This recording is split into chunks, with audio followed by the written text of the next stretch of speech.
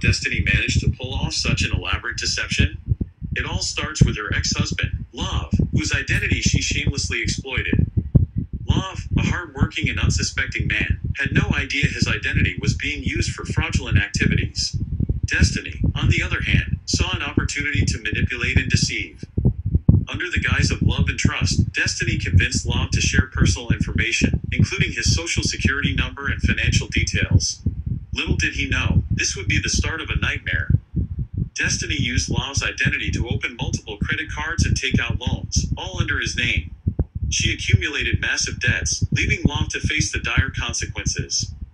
But Destiny's deception didn't stop there. She forged Love's signature on legal documents, tricking him into taking responsibility for her actions.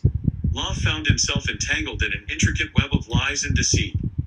Throughout their marriage, Destiny manipulated Love into transferring properties and assets solely into her name.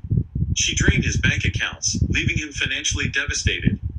When Love finally discovered the truth, he was left brokenhearted and betrayed.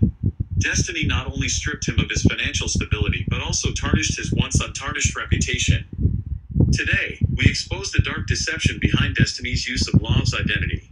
Let this serve as a cautionary tale to anyone out there, reminding us to be vigilant and protect ourselves from those who seek to.